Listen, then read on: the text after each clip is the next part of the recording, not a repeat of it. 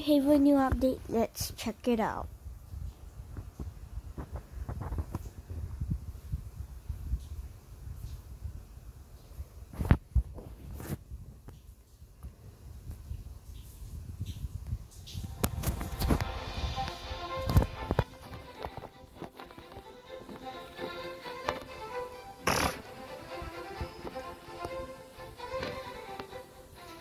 See what we got here.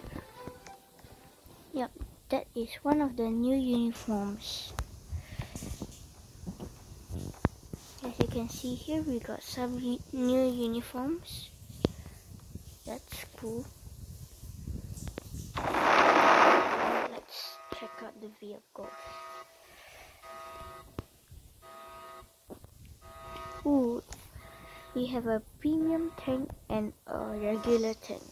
So the premium you have to buy a game pass. For now, you can use the regular tank. Oh, it has turrets. Whoa, so cool. And it can move. Whoa.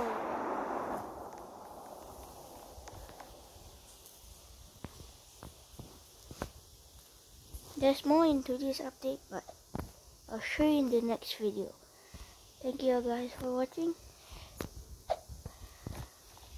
Comment, like, and subscribe, and I'll see you next time.